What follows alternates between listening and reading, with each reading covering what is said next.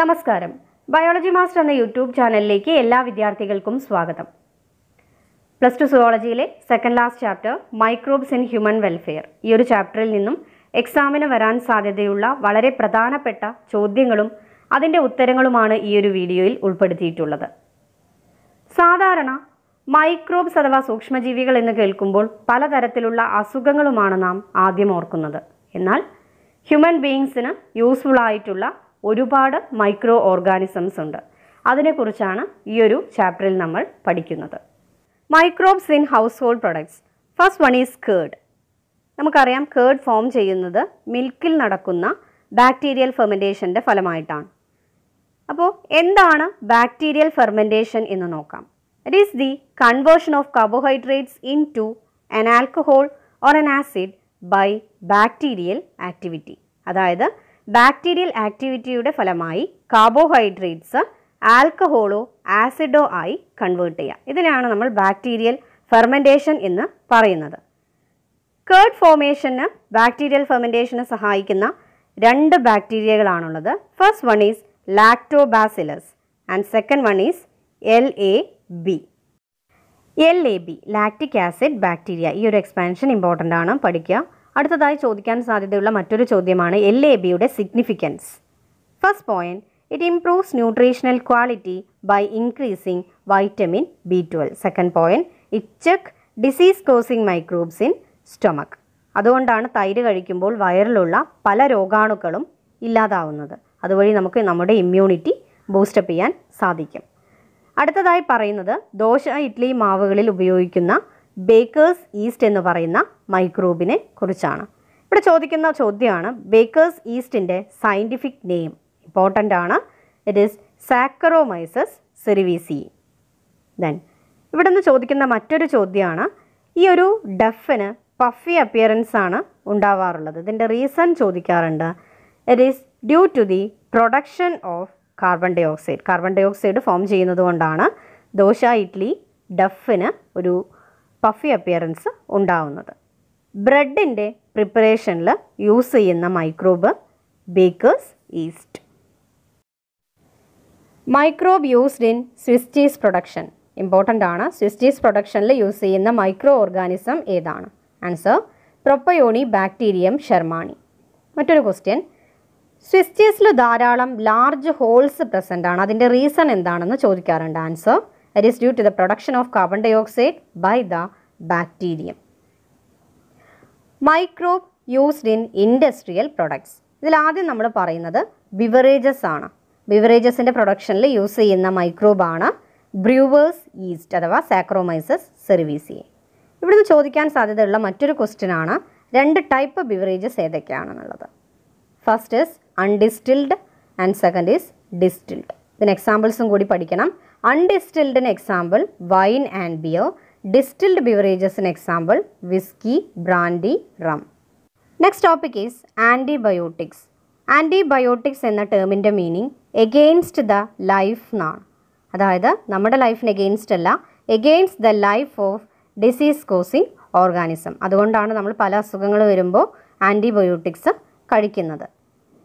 Antibiotics are chemicals produced by microbes to kill or retard the growth of disease causing microbes അടുത്ത important ആയിട്ടുള്ള ഒരു ചോദ്യമാണ് first antibiotic ഏതാണെന്ന് ചോദിക്കാറുണ്ട്? It is penicillin അതിന്റെ scientific name important ആണ്. Penicillium notatum Penicillium was discovered by Alexander Fleming while working on staphylococci first potentially effective antibiotic was established by Ernest Chain and Howard Florey അതായത് penicillium ആദ്യമായി discover ചെയ്തത് Alexander Fleming ആണ്. പക്ഷേ potentially effective ആയിട്ടുള്ള ഒരു antibiotic ആദ്യമായി establish ചെയ്തത് earnest ചെയിനും Howard Flory ഈ രണ്ട് സയന്റിസ്റ്റും കൂടിയാണ്. ഇതിന് ഇവർക്ക് നയന്റീൻ ഫോർട്ടി ഫൈവിൽ നോബൽ പ്രൈസ് ലഭിക്കുകയും ചെയ്തു. മൈക്രോബ്സ് ഇൻ ഓർഗാനിക് ആസിഡ് അതായത് ഓർഗാനിക് ആസിഡിന്റെ പ്രൊഡക്ഷനിൽ ഉപയോഗിക്കുന്ന മൈക്രോബ്സ് ഏതൊക്കെയാണെന്ന് നോക്കാം.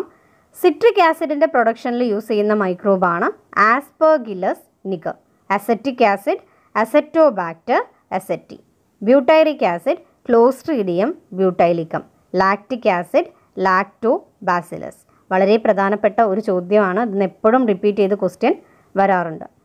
ദെൻ നെക്സ്റ്റ് എത്തനോൾ എത്തനോളിന്റെ പ്രൊഡക്ഷന് യൂസ് ചെയ്യുന്ന മൈക്രോബാണ് Saccharomyces സെറിവീസിയെ microbes in enzyme production ഇവിടെ എൻസൈം പ്രൊഡക്ഷന് യൂസ് ചെയ്യുന്ന മൈക്രോബ്സ് ഏതൊക്കെയാണെന്ന് പഠിക്കണം. അതോടൊപ്പം തന്നെ ഇമ്പോർട്ടന്റ് ആണ് ഓരോ എൻസൈംസിന്റെയും use first one is lipase it is used in detergents for removing oily stains ലിപ്പേസിന്റെ പ്രൊഡക്ഷന് ഉപയോഗിക്കുന്നത് ബാസിലസ് ആണ്.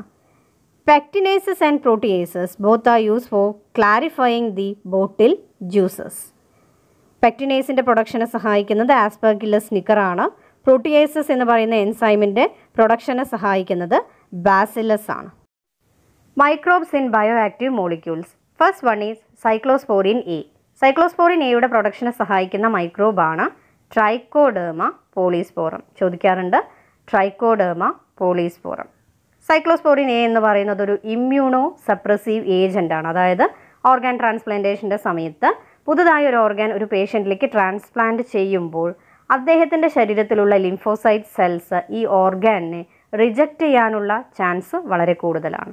ഈ ഒരു അവസ്ഥ ഒഴിവാക്കുന്നതിനായി ആ ഒരു ഓർഗൻ ട്രാൻസ്പ്ലാന്റേഷൻ നടത്തുമ്പോൾ ആ പേഷ്യന്റിന് ഇഞ്ചക്റ്റ് ചെയ്യുന്ന ഒരു ബയോ ആക്റ്റീവ് മോളിക്യൂളാണ് cyclosporin A.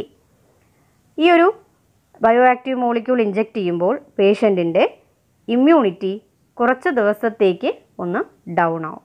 Then next is statins സ്റ്റാറ്റിൻസിന്റെ പ്രിപ്പറേഷൻ യൂസ് ചെയ്യുന്ന മൈക്രോബാണ് മൊണാസ്കസ് പർപ്പറിയസ് സ്റ്റാറ്റിൻസ് എന്ന് പറഞ്ഞാൽ ബ്ലഡ് കൊളസ്ട്രോൾ ലോവറിങ് ഏജന്റ് ആണ്. അതായത് കൊളസ്ട്രോൾ ഒക്കെ ഉള്ള ആൾക്കാർക്ക് കൊടുക്കുന്ന ടാബ്ലറ്റ്സിൽ സ്റ്റാറ്റിൻസ് അടങ്ങിയിട്ടുണ്ട്. Then next is streptokinase streptokinase എന്ന് പറയുന്നത് സ്ട്രപ്റ്റോകോക്കസ് എന്ന് പറയുന്ന മൈക്രോബിൽ നിന്നാണിത് ഉണ്ടാക്കുന്നത്. ഇതിന്റെ മെയിൻ ആയിട്ടുള്ള ഫങ്ഷൻ എന്ന് പറഞ്ഞാൽ they act as clot busters അതായത് നമുക്കറിയാം ഹാർട്ട് പേഷ്യൻസിനൊക്കെ കൊടുക്കുന്ന മരുന്നുകളിലാണ് ഇത് ആഡ് ചെയ്യുന്നത്. അതായത് ഹാർട്ട് പേഷ്യൻസിന്റെ ബ്ലഡ് വെസൽസിൽ ചെറിയ ചെറിയ ക്ലോട്ടൊക്കെ ഫോം ചെയ്യാറുണ്ട്. അപ്പം ഈ ക്ലോട്ടിനെയൊക്കെ റിമൂവ് ചെയ്യുക എന്നുള്ളതാണ് ഇതിന്റെ ഇമ്പോർട്ടന്റ് ആയിട്ടുള്ള function microbes in sewage treatment sewage എന്ന് പറഞ്ഞാൽ വേസ്റ്റ് വാട്ടറാണ് വേസ്റ്റ് വാട്ടറിന്റെ പ്യൂരിഫിക്കേഷന് വേണ്ടി രണ്ട് പ്രധാനപ്പെട്ട സ്റ്റെപ്സ് ആണുള്ളത്. പ്രൈമറി ട്രീറ്റ്മെന്റും സെക്കൻഡറി ട്രീറ്റ്മെന്റും ആദ്യം നമുക്ക് പ്രൈമറി ട്രീറ്റ്മെന്റ് നോക്കാം.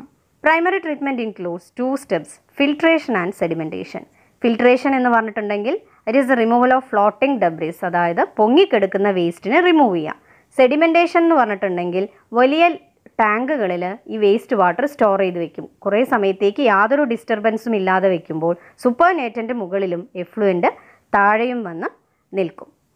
Next is secondary treatment effluent from the primary treatment is taken for it it is also called as biological treatment ഈ ഒരു സെക്കൻഡറി ട്രീറ്റ്മെന്റിനെ ബയോളജിക്കൽ ട്രീറ്റ്മെന്റ് എന്ന് കൂടി പറയും. പറയാനുള്ള കാരണം ഈ ഒരു സ്റ്റെപ്പിലാണ് മൈക്രോ ഓർഗാനിസത്തിനെ യൂസ് ചെയ്യുന്നത് സെക്കൻഡറി ട്രീറ്റ്മെന്റിന്റെ സ്റ്റെപ്സ് നോക്കാം. First step agitation and aeration അതായത് ഈ ഒരു വേസ്റ്റ് വാട്ടർ വലിയ കോൺക്രീറ്റ് ടാങ്കുകളിൽ സ്റ്റോർ ചെയ്യും. എന്നിട്ട് അത് നല്ലോണം എജിറ്റേറ്റ് ചെയ്യും. അതിന് ശേഷം ഇതിലേക്ക് എയർ പമ്പ് ചെയ്ത് കൊടുക്കും. അതിനാണ് നമ്മൾ എയറേഷൻ എന്ന് പറയുന്നത്.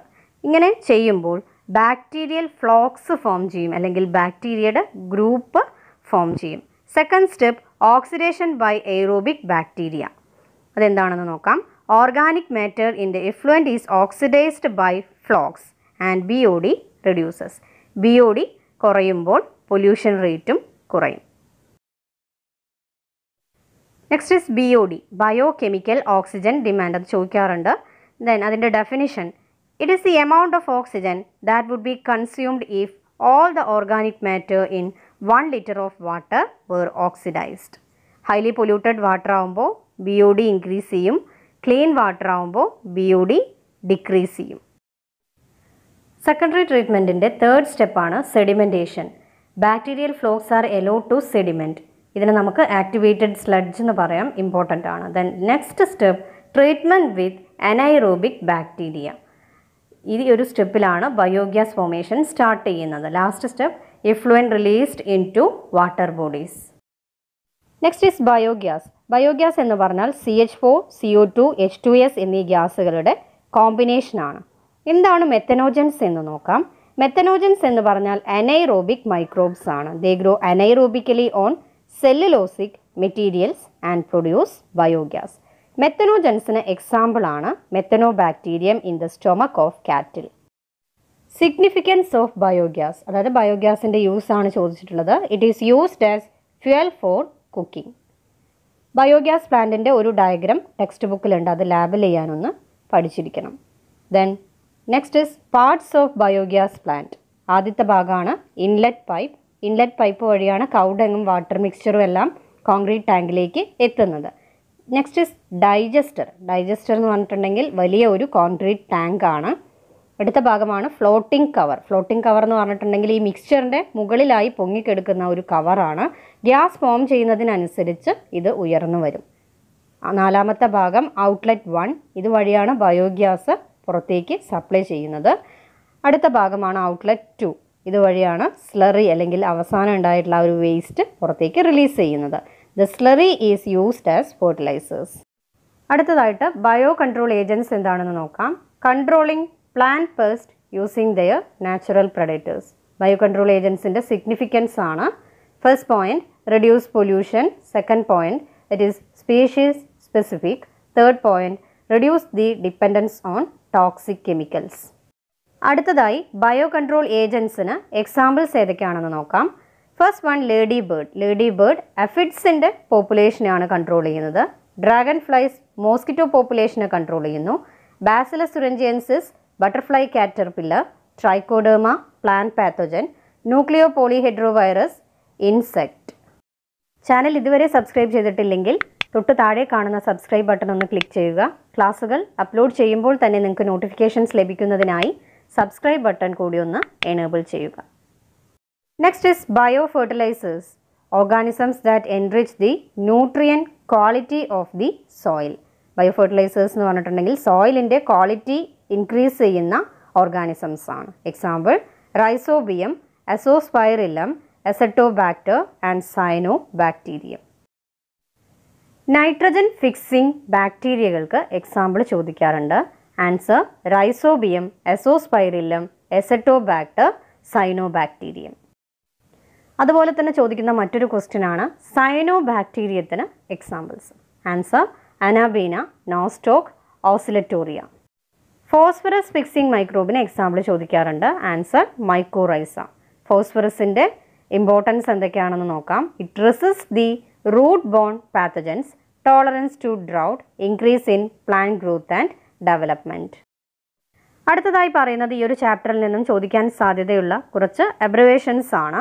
G A P Ganga action plan T M V tobacco mosaic virus Y A P Yamuna action plan next K V I C Khadi and village industries commission I P M integrated pest management ഈ ഒരു video useful ആയെന്ന് കരുതുന്നു. നിങ്ങൾക്ക് എന്തെങ്കിലും സംശയം ഈ ഒരു ചാപ്റ്ററിൽ നിന്നുണ്ടെങ്കിൽ താഴെ കമന്റ് ബോക്സിൽ കമന്റ് ചെയ്യുക. അതുപോലെ തന്നെ ഈ ചാപ്റ്ററിന്റെ നോട്ട്സ് ആവശ്യമുണ്ടെങ്കിൽ ഒന്ന് നിങ്ങളുടെ വാട്സപ്പ് നമ്പർ കമന്റ് ബോക്സിൽ ആഡ് ചെയ്യുക. Thank you all for watching this video